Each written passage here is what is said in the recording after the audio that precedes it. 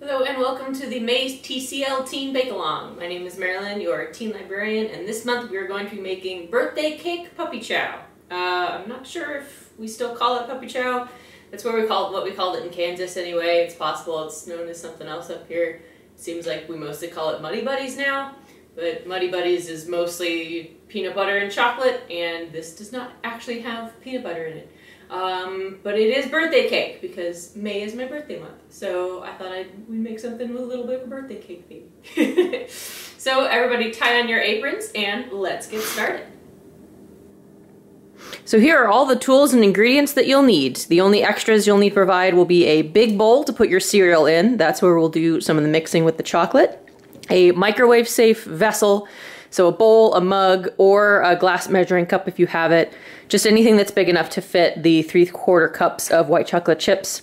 A spoon, and you can provide a rubber spatula if you like. Uh, we'll need it to mix up the cereal and chocolate in just a little bit. But you can also just use a spoon. Really anything that, that is good for you for stirring those together. Uh, so now we've got everything gathered, let's get on to the making. All right, first thing, you're gonna take your chocolate, pour it into your microwave safe vessel. And this will not take long, but we're gonna start with uh, 30 seconds because we don't wanna do it too fast or else we can burn the chocolate. It seems like it would be hard to do in a microwave, but it is entirely possible. So do that 30 seconds. And after that first 30 seconds, just give it a stir. You should already notice, uh, you can probably see it here too, it already is getting some good melty. It should only take one more ah, 30 second heating session. So give that 30 more seconds.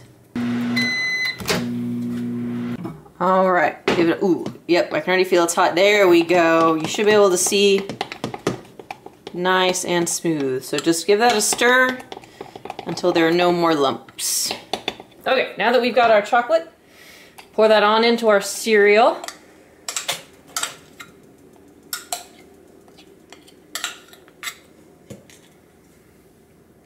And this is where a rubber spatula does come in handy. Wipe Wiping that extra chocolate off. So you can get everything in there. Perfect. And then just stir it on up.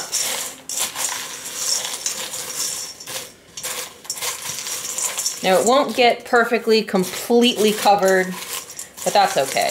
You just want most of it. You don't want to see a ton of dry cereal. As long as it all has at least a little bit of chocolate sticking to it, then you're good. There we go. Yeah, but as you, yeah, you can already see it does not take long. Like the sriracha caramel corn, Uh, this isn't temperamental, obviously, but it's one where you kind of just work kind of quickly. Okay. Once that's all stirred up, you can see it right there. Yeah, so it's mostly covered. You see there's some dry bits, but it's covered enough. No need to stress. Just getting some of that extra cereal off. Save all that goodness. All right. Now, it might be helpful to get a friend help you pour this into the bowl, their bag, but you can still get it. Ah! Come on now. okay. Come on. There. Come on.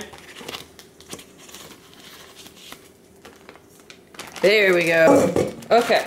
Almost. Just getting those little extra bits off.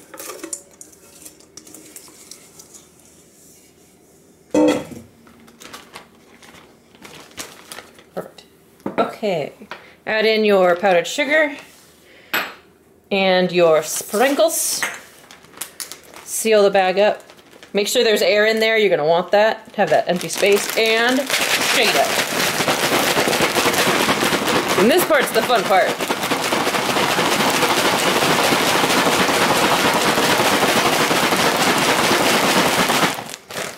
There we go. Yeah, if you can take a look. Oh, that's lovely. Mmm. Woo! And there you have it. Birthday cake puppy chow. We got sprinkles. We got white chocolate, we got powdered sugar. So you can take the, oh, well, of course we won't get the, uh, hey, there we go. That's just cool. Oh man. You know what? This was so easy. Almost too easy. And it's, we made that flavor with birthday cake. I bet that you could substitute just about any other spice flavor for that, uh, for those sprinkles, huh? Hmm.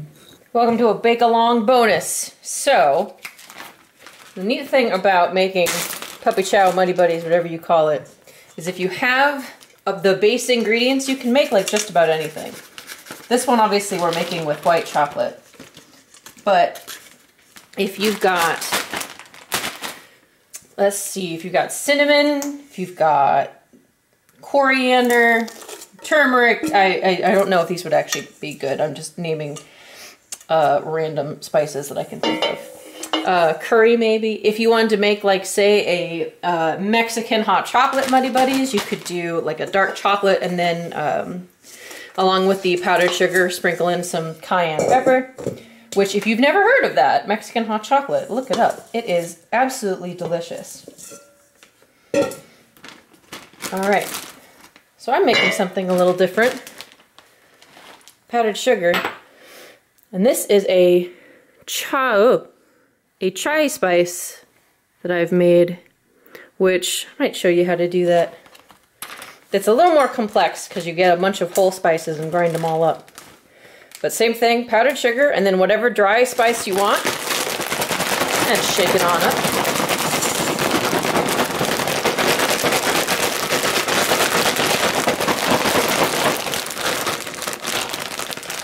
Mmm. Ooh, already looks good.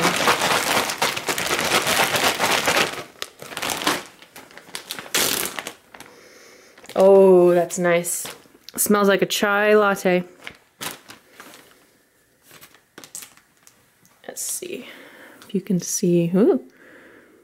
There we go. You can kind of see all those little spices on there.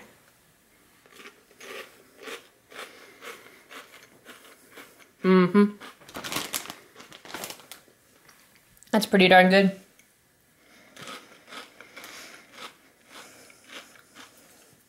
So if the first one tasted like birthday cake, that one obviously tastes like a chai latte, which to me tastes like fall. And let me tell you, even though it's only, uh, well, it's April as I'm filming, it'll be May obviously when these kits go out. Uh, even though it's our only May, I'm ready for fall. so that's it for the May Bake Along with our birthday cake puppy chow and then our bonus chai latte puppy chow. Uh, I hope you can give this a try, maybe find a way to make it your own. Um, if you do, let us know. This is super easy and fun to make, and it's really a great way to uh, flex some creativity on a recipe.